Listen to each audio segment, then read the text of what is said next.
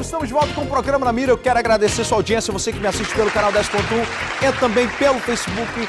Nós estamos aqui já ligados. E você, está tudo certo por aí? Manda denúncia para cá no nosso 993276649, que é o nosso WhatsApp, porque já tem gente mandando e eu vou abrir aqui agora. Traz aqui para mim, meu diretor.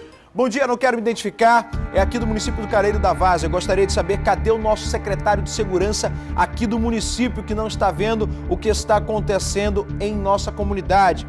Aqui ninguém consegue mais dormir direito. Ontem à noite apareceram um pessoal todos armados de fuzil até calibre 12. Eles estavam usando, levaram um casal. Cadê?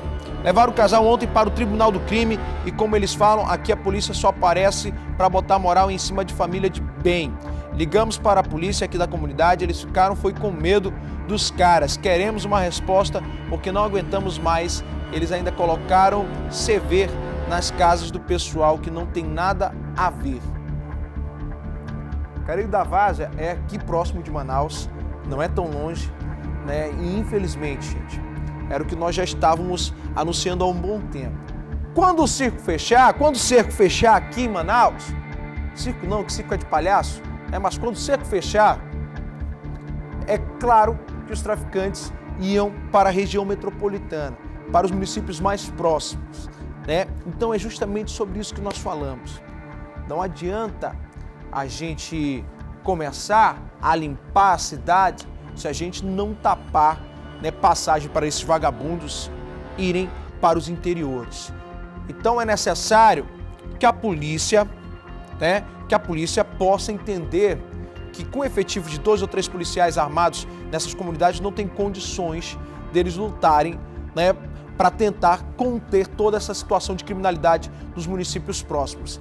Essa denúncia será repassada às autoridades, aos policiais da ROCAN, da Força Tática, e com certeza algo vai ser feito. E é claro, com sigilo. Você que mandou, fique tranquilo que você não vai ser identificado, tá certo? Vem pra cá comigo. Pastinho, tudo bem, meu amigo? Nem falei com você hoje, tá tudo certo? Rui Mendes, tudo tranquilo, tudo na paz? Lá na Compensa 1, agora que eu descobri que o Rui Mendes é da Compensa 1, né? eu, pensei Hã? que era da 2, ele já tinha falado que era da 2, não entendi. Né? E aí, Daniel Barbosa, tudo tranquilo, meu amigo? Graças a Deus, glória a Deus. Eu emendei um gló com graça, né? Que não deu muito certo. Agora, olha só, um homem rouba a agência dos Correios, esquece o celular e acabou preso. Simples assim. Quem conta essa história é a Bárbara Mitoso, na tela do Namira.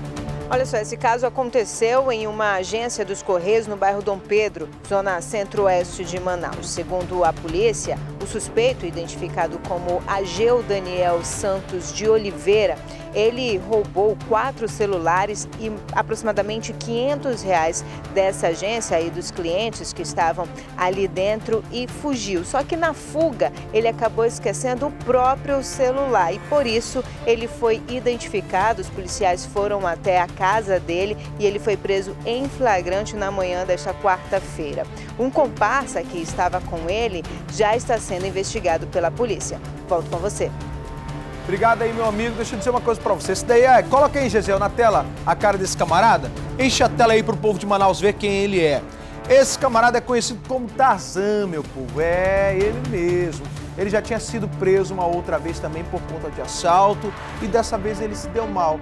Eu tô dizendo, meu amigo, uma hora ou outra você vai colher aquilo que você plantou, não tem essa. Onde já se viu ladrão é, é, é esquecer celular? Né? Onde já se viu? Minha gente, uma hora ou outra a casa cai para vagabundagem. Tá certo? Isso não, só, não se resume só a ladrão bate-carteira, não. Né? Resume também aos camaradas que nos representam. Eu sempre vou citar aqui político, minha gente, porque infelizmente é uma situação que todo mundo vê, né? Vem para cá comigo.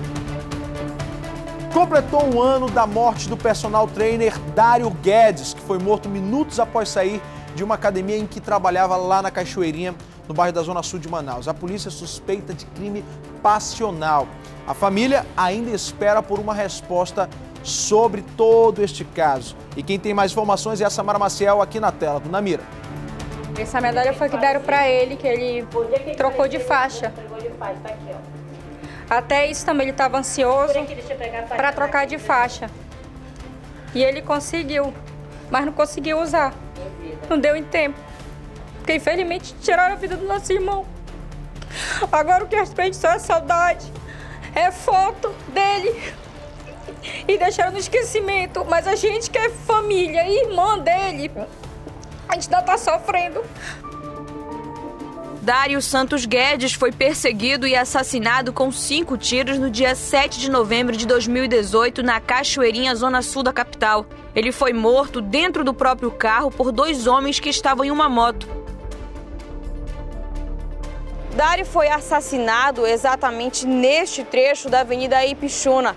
A polícia é suspeita de crime passional, já que ele teve envolvimento com uma mulher casada.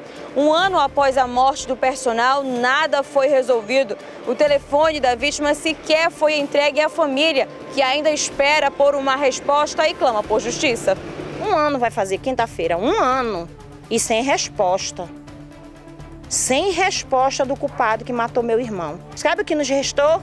Além da saudade e da dor, da falta de justiça que não foi feita e não fizeram, eles não deram nem importância. Dário é mais uma vítima da violência que toma conta do estado. O Amazonas está entre os 10 estados com as maiores taxas de homicídio de jovens.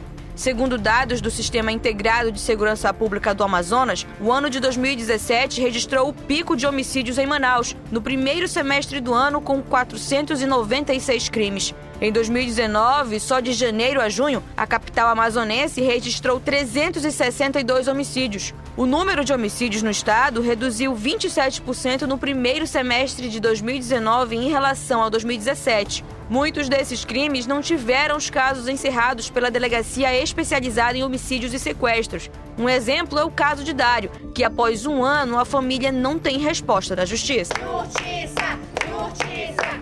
Justiça! Justiça! Justiça! Que situação, meu povo. Eu acompanhei esse caso de perto, eu estive lá com a família, gravei uma vez com eles também. Enche a tela, Gisele, para a gente falar sobre esse caso. É um caso que chama a atenção por conta da demora, né? pela elucidação é, deste crime. Até o momento não tem sinal de quem pode, não tem nem suspeita né? de, quem, de quem possa ter sido o culpado deste homicídio. Né? Agora você vê uma pessoa de família, uma pessoa que trabalhava, uma pessoa que estava batalhando para ter suas coisas e que teve sua vida tirada precocemente. Né? A dor da, da mãe, a dor da irmã. Né? No dia que eu fui lá gravar com a família a, a, irmã estava sem palavras, sem chão. Né? E é, é exatamente assim que, que as pessoas ficam quando perdem um ente querido e que não era envolvido com coisa errada.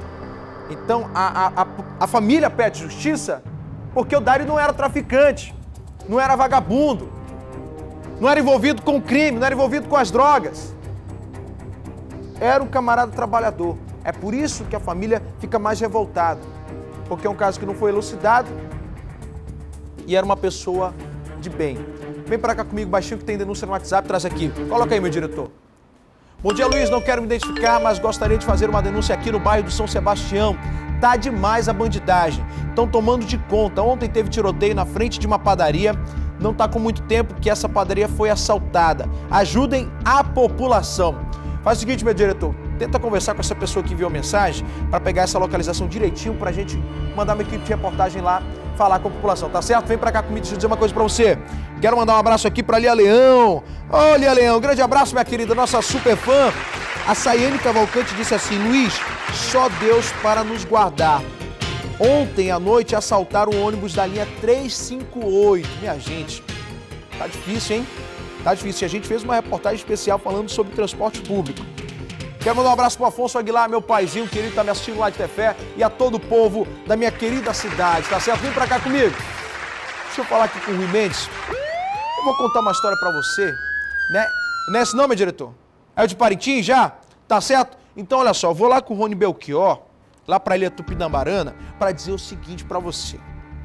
Não basta a onda de crimes, de tráfico de drogas, né? O que é que aconteceu? Parece agora que a juventude está se inspirando nessa situação toda e está querendo virar bandido. É, um estudante tirou foto, todo posudo com uma arma na mão, querendo se mostrar, né? Ou querendo se amostrar, como diz o caboclo. Só que deu ruim, porque conseguiram encontrar essa foto. Coloca aqui na tela. Bom dia, Luiz. Bom dia a você que acompanha o Na Mira desta quinta-feira. Olha, aqui em Parintins, né, um, um, ganhou notícia, virou notícia nas redes sociais na noite desta quarta-feira, é uma foto, né, a foto de um garoto estudante de uma escola da rede estadual, da rede pública estadual aqui de Parintins. Esse garoto seria é, aluno de, de, do, de uma série do ensino fundamental.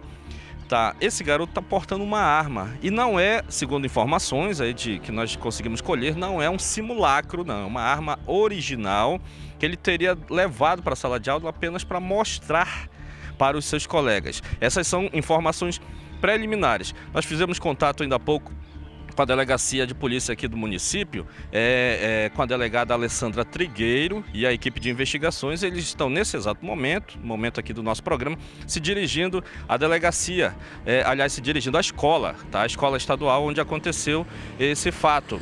E aí, somente após, tá? Somente após o contato com a direção da escola, com a, os familiares dessa criança, desse menino, aí sim a, a delegada Alessandra Trigueiro vai é, se manifestar formalmente, oficialmente com relação a esse caso. Mas o que chama atenção é o que né, de brinquedo ou não, o que esse garoto faz com uma arma simulacro ou verdadeira, como alguns colegas testemunhos estão dizendo que, que era verdadeira, na sala de aula, né? Eu acho que isso daí não faz parte do dever escolar. Volto com você no estúdio.